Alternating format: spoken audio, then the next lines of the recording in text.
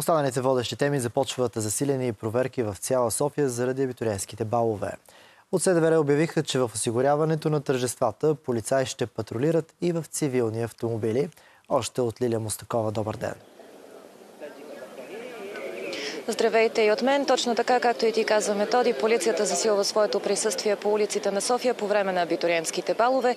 В проверките ще се включат и цивилни автомобили, както и екипи на столична община, които ще следят за спазване на правилата, най-вече пред заведенията, където празнуват абитуриентите. Иначе от полицията напомнят, че това, за което ще следят, е именно шофиране в нетрезво състояние, при употреба, разбира се, на алкохол и наркотици и подчертаха да не се забравят и правилата за употреба на райс китайски газ, което е една от субстанциите, които се използват най-често при а, тези празненства.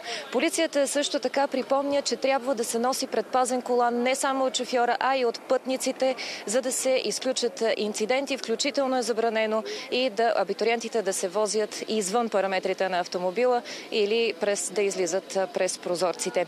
И още нещо важно от полицията и от столична община припомниха правилата, че е забранена употребата на пиротехника в района на храмове, като храм паметник паметника Свети Александър Невски, където се намираме в момента и където традиционно се събират абитуриентите. Предлагам да чуем още от полицията сега.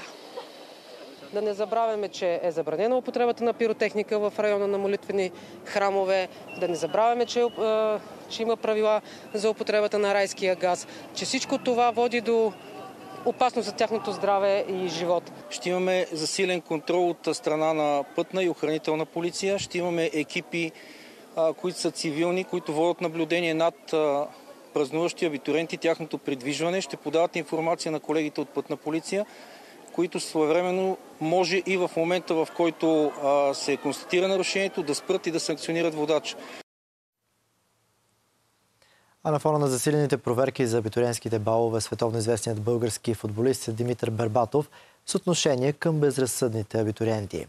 В клип, разпространен в социалните мрежи, се вижда как Бербатов прави забележка на зрелостник, който е седнал на прозореца на автомобила и държи балон в ръката. Във видеото легендарният футболист обяснява, че подобна еуфория може да се изразява и по по-различен начин. Знам, че наближава или всъщност вече е тук сезона на абитурентите, на баловете, еуфорията сред децата, младежи и девойки всъщност е голяма. Но сега тази еуфория си мисля, че може да се изразява по различни начини, а не по начини, по който ще ви покажа и който мисля, че не е правилен. И тези, които си мислят, че са много готини. Ето, типичен пример на човек, който не знае къде се намира.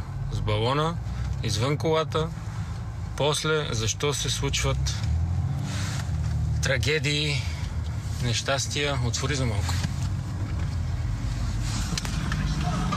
Защо си извън колата? Айде, Барбо! Защо си извън колата? Защо си извън колата? Да не съм те видял! Това няма да ви направи готини. Казах ви го и преди, ще ви направи и загубеняци. Готини и победители ще сте, ако имате план за живота след абитуренския бал.